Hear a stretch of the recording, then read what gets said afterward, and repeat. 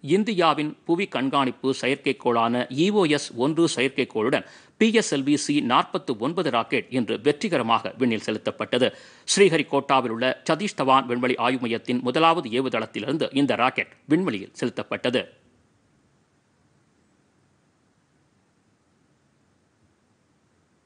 Four three two one zero Ignition. plus five seconds. Uh, you have just launched a li- majestic liftoff of PSLV C-49 carrying EOS-01 with nine co-passenger satellites. And the range operations director has confirmed the liftoff and that the pil- and that the performance of PS-1 is normal. கனமழை பெய்து வந்ததால் பத்து நிமிடம் தாமதமாக சரியாக மூன்று பனிரெண்டு மணிக்கு ராக்கெட் விண்ணில் ஏவப்பட்டது. இந்தியாவின் புவி ஆய்வு செயற்கைக்கோள் உள்ளிட்ட பத்து செயற்கைக்கோள்களை இந்த ராக்கெட் வெற்றிகரமாக விண்ணில் செலுத்தியுள்ளது. இந்தியாவின் புவி ஆய்வு செயற்கைக்கோள் அனைத்து காலநிலைகளிலும் செயல்படும் வகையில் வடிவமைக்கப்பட்டுள்ளது. விவசாயம் வனம் மற்றும் பேரிடர் மேலாண்மைக்கு இந்த புவியாய்வு செயற்கைக்கோள் பெரிதும் உதவும் என்றும் விஞ்ஞானிகள் தெரிவித்தனர். இந்திய செயற்கைக்கோளுடன் வணிக ரீதியிலான ஒன்பது செயற்கைக்கோள்களும் பிஎஸ்எல்வி சி நாற்பத்தி ஒன்பது ராக்கெட் மூலம் விண்ணில் ஏவப்பட்டன இஸ்ரோ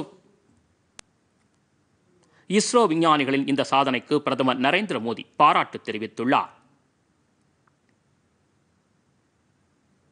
கொரோனா பெருந்தொற்று காலத்திலும் விஞ்ஞானிகள் ஆய்வகத்திற்கு வந்து பணிகளை வெற்றிகரமாக மேற்கொண்டதாக இஸ்ரோ தலைவர் சிவன் பாராட்டு தெரிவித்தார். பத்து செயற்கைக்கோள்களையும் வெற்றிகரமாக விண்ணில் நிலைநிறுத்தியது புதிய அனுபவமாக இருந்தது என்றும் அவர் தெரிவித்தார். PSLV C-49 successfully placed Earth Observation Satellite EOS-01 as well as nine customer satellite precisely into the 575 kilometer orbit. Subsequent to this mission, uh, uh, mission, the satellite started uh, operating the, its, its own functions. The solar panel also, of the satellite also successfully deployed. This mission is very special, very unusual for ISRO.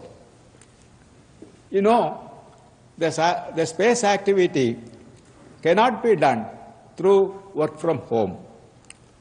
Each and every one of the space engineer has to be available in labs, industries, integration area, as well as the field.